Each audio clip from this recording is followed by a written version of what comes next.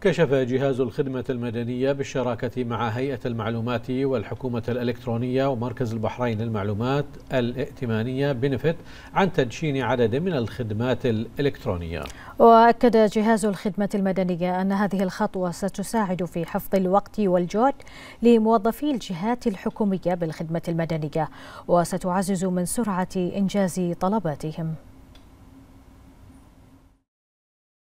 في إطار الجهود المبذولة من أجل تحسين وتطوير منظومة خدماتها دعما وتحقيقا لعمليات التحول الرقمي بمنظومة العمل الحكومي وتطويرا للآلية المعمول بها سابقا جاء تدشين عدد من الخدمات الإلكترونية الخاصة بالموظفين الحكوميين المنضوين تحت مظلة جهاز الخدمة المدنية.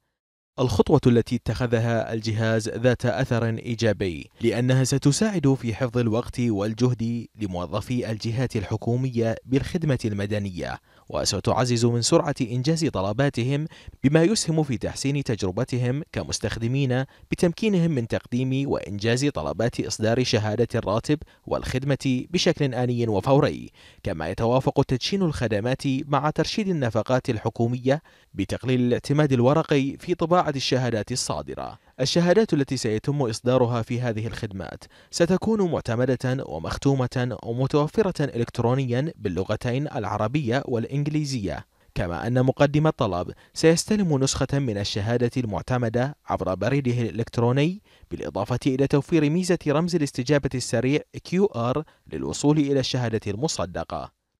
وتستمر كافة المؤسسات الحكومية في مملكة البحرين في عملية التحول الرقمي إذ تحرص مملكة البحرين دائما على توظيف التكنولوجيا المتقدمة واحتضان التقنيات الحديثة والناشئة. علاوة على أن التحول الرقمي هو أحد أهم محاور رؤية البحرين الاقتصادية 2030